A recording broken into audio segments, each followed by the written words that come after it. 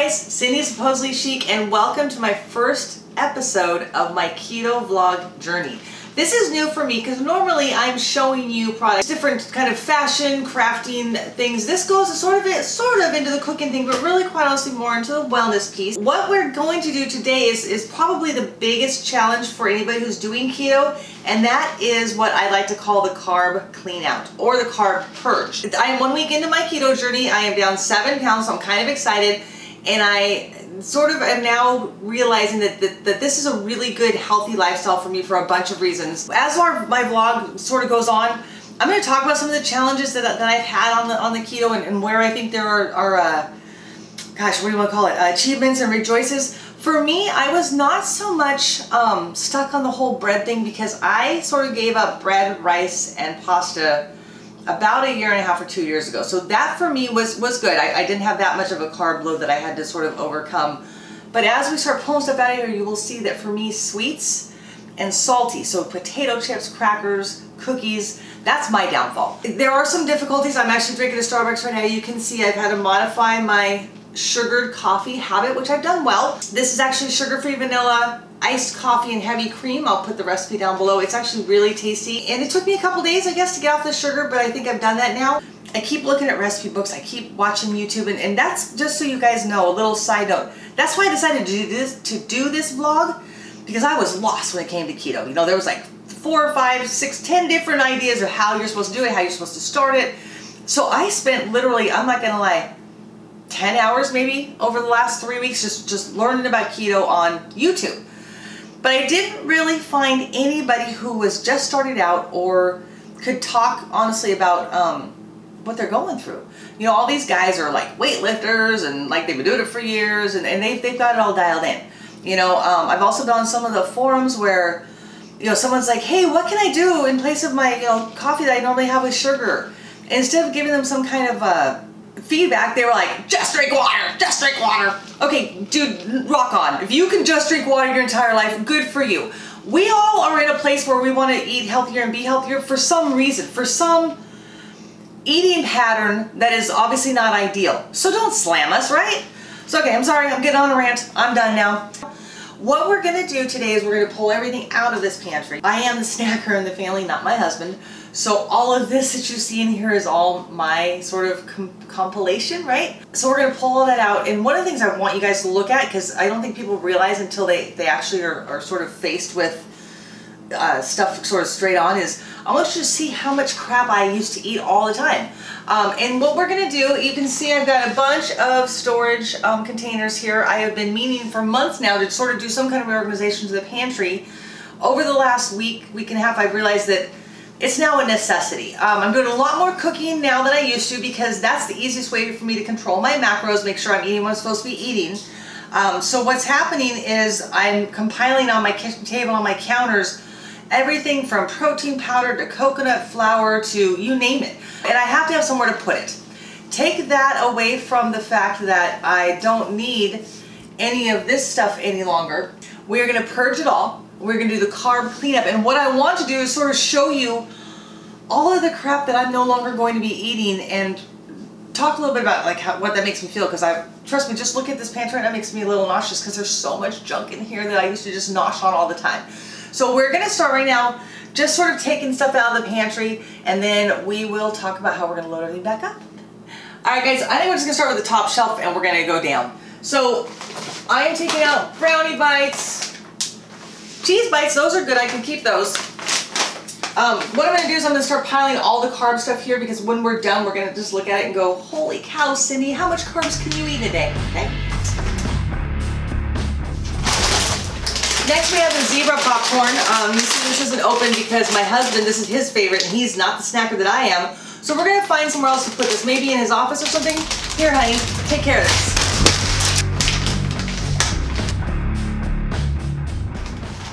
I stocked up on Girl Scout cookies. I'm gonna give these away to somebody because my husband won't eat them and there's no way in the world I'm gonna throw those away. Moon cheese, guys, is a great cheese snack while on keto. Um, I bought these at Starbucks a couple times when I was sort of thinking about it. They're really good and they taste like really cheesy Cheez-Its.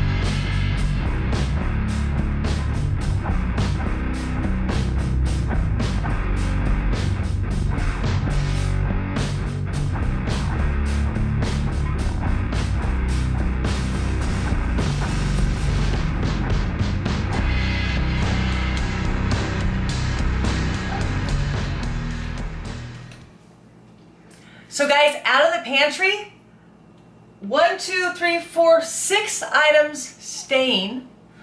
Everything here is all carbs and they're all purged.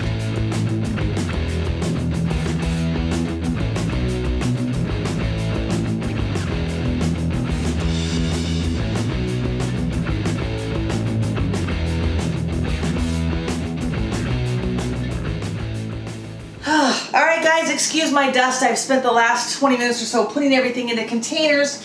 You can see what I really like about the OXO uh, Good Grips is that you can see what's in it and it has a pop top and the seal so no matter whether it takes you a month or six months to go through one of these, it's going to stay fresh. So I got a bunch of different sizes to do a bunch of different things. Uh, I have a lot of powdered ingredients because I am going to try, for me, the safest way to maintain my keto macros is to do as much cooking on my own as I can.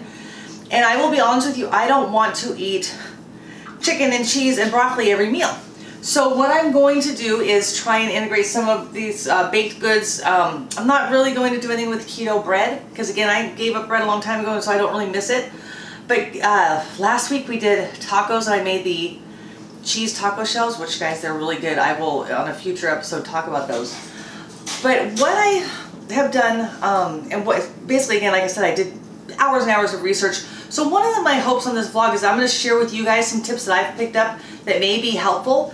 Uh, stevia, obviously you guys have heard of that. Stevia is a huge uh, natural sweetener that people recommend for keto. I have a really hard time with stevia. For me, it has a very weird aftertaste. One of the things I saw um, on multiple blogs and YouTube videos was that Better Stevia Original is the best flavored stevia. So this is on Amazon. There'll be a link below. So you see it's a really big bottle. What the other tip that I heard was that this actual dropper right here is inconsistent at best. So if it asks, if it uh, recipe calls out for like four drops, you might get like three, you might get like 10. So they all recommended just buy a little uh, dropper bottle, so I did that.